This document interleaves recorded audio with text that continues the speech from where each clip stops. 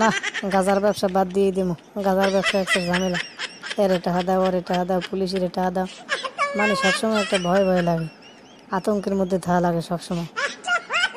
এটা কহেন দেবার ধৈর্য হোগায়, বাসান দেয় আর সে গাজার ব্যবসা বাদ দিয়ে দিব তরমুজের ব্যবসা শুরু করব তরমুজ পাইকারি কিনবো কেজি হিসেবে বেচবো খবর কি আমার তিন দিন ধরে বিষে আমার তো লাগরই পাই না তিন দিন তো আমার গাঁজা খাইতে না মাথা মাথা নষ্ট। শিগগির একশো টাকার গাঁজা দেন। তিন দিন ধরে না। আর তিরিশ বছরেও আমার আর পাবি না।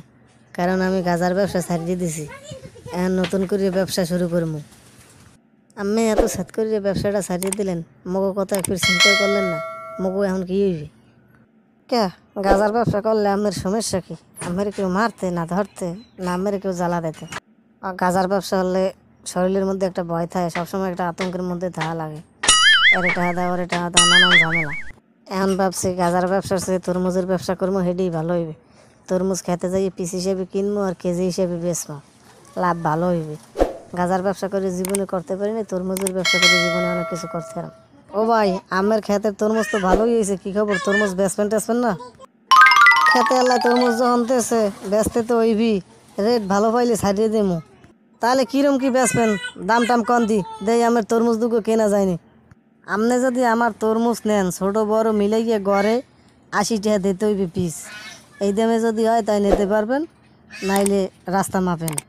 এই রকমের দাম চাইলে পার্টি বেরবে। চেয়ে আমি একটা রেট কই দেন এই রেটে যদি আমার পোষায়, তাহলে আমি আমার তরমুজ দিতে পারেন। ষাট টাকা পিস পাইবেন ঘরে আমার ষাটও বাদ আর আশিও বাদ। সত্তর টাকা যদি দেন, তাহলে আপনি তরমুজ নিতে পারবেন। আচ্ছা ঠিক আছে ভাই, তাহলে ওই কথাই রইল। আপনার সত্তর টাকায় আমি তরমুজ নিলাম আপনার ঠিক আছে? এটা কেনাই দিলাম। তরমুজটা ভালোই লাভে কিনা দিলাম। পিস হিসেবে কিনছি, এখন কেজি হিসেবে বেচবো খালি টাহা আর টাহা। টাহাই দিয়ে পাহাড় ভরামো। এই তরমুজ লন তাজা তাজা তরমুজ লন, পাকা পাকা তরমুজ লন তরমুজ লন তরমুজ লন। তরমুজ এখন না কিনলে কিন্তু ঠকবেন, তরমুজের কেজি মাত্র চল্লিশ, তরমুজের কেজি মাত্র চল্লিশ। চাচা, তরমুজের কেজি চল্লিশটাই রাখবেন না একটু কমাই টমাই রাখবেন? কমামু কেমে বাবা? পঁয়ত্রিশ টাকা কেজি কিনছি, আর চল্লিশ টাকা বেশি। এতে লস হয়ে যায় বুঝছ তুমি। তাহলে বড় তো একটা মাপেন, পাঁচ, ছয় কেজি যেন হয়। এই বাবা ধরো, সাত কেজি হয়েছে, দাম মাত্র দুইশো আশি টাকা। রোজার সুতো দিয়ে ভালোই ব্যবসা করলাম, সত্তর টাকার তরমুজ দুইশো আশি টাকা বেচলাম। এরমের ব্যবসা করতে হলে পাঁচতলা বিল্ডিং করতে আর সময় লাগবে না। আমরা সবাই দোয়া করেন যেন এরমের খামখেয়ালি ব্যবসা আরও সামনের দিকে করতে পারি। ভিডিওটা যদি ভালো লাগে তাহলে লাইক কমেন্ট শেয়ার করতে ভুলবেন না। আর আমাকে চ্যানেলটা একটু সাবস্ক্রাইব করে দেবেন, যাতে পরবর্তী ভিডিও নোটিফিকেশান আপনারা সবাই আগে পাইয়ে যান।